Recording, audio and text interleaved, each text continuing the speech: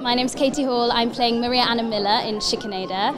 Um, Maria Anna is a very young ballet dancer. She's very naive, very innocent, and she truly believes that she is doing the right thing.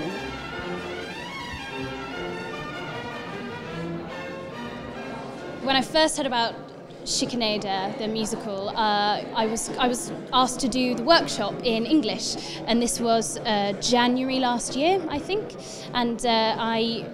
I was just so excited. I'd heard about the team and heard what the story was, and I was I couldn't wait to get started on it. And it's I've been I've been involved in it uh, for about well since then really and I've done a couple of other workshops and come back here and, and now to be doing the show in German doing the world premiere is just so unbelievably exciting. I can't I feel so lucky I can't believe it really. Uh, so the way I prepare I'm going to prepare for this role will be well first and foremost German.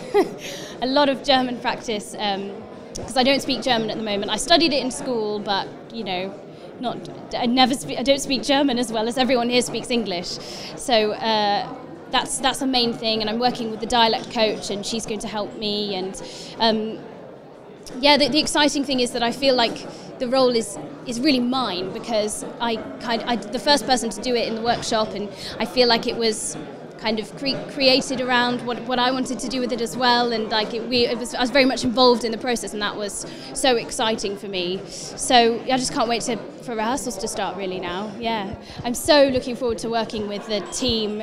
I mean, it doesn't get much better than Steve Schwartz and Trevor Nunn and the fantastic book by Christian Struppeck is I'm so excited to work with them uh, and I love I love the way they work and it's they, they all really care about it which is so wonderful uh, and also I'm so excited to come and move to Vienna. Um, such a fantastic city. Uh, what a wonderful opportunity. You know the city of music. Yeah so I'm really excited